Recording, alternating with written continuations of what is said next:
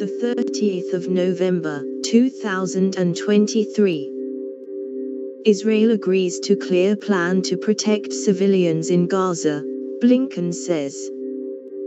Secretary of State Antony Blinken urged Israeli leaders to show greater restraint on the battlefield when fighting in the Palestinian enclave resumes.